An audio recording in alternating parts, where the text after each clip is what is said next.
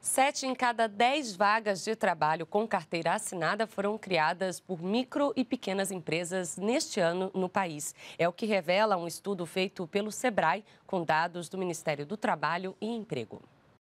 De janeiro a maio deste ano, o Brasil criou mais de 865 mil empregos formais.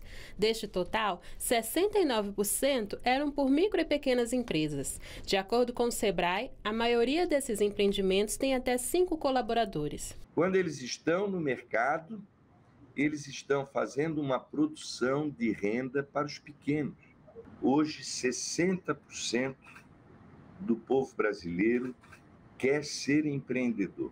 O Brasil tem cerca de 22 milhões de pequenos negócios, que representam 99% de todas as empresas do país e quase 30% da economia. Somente em maio, os pequenos negócios responderam por 70% dos novos empregos, com aumento de 2 pontos percentuais em relação ao mesmo mês do ano passado.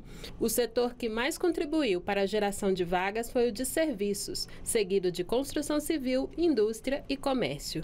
Além de gerar novas vagas, o Sebrae também aponta as micro e pequenas empresas como responsáveis pela manutenção de empregos. É o caso desta empresária que tem seis colaboradores e um salão de beleza. Ela conta em capacitação e pensa em expandir os negócios no futuro e contratar mais. O que eu qualificação das pessoas que estão comigo para ter um serviço de, de, qualidade e um serviço que realmente atenda o perfil desse novo consumidor. E como o empresário ele é otimista, né? Eu tenho assim a pretensão assim de que a empresa aumente, as coisas aconteçam, né?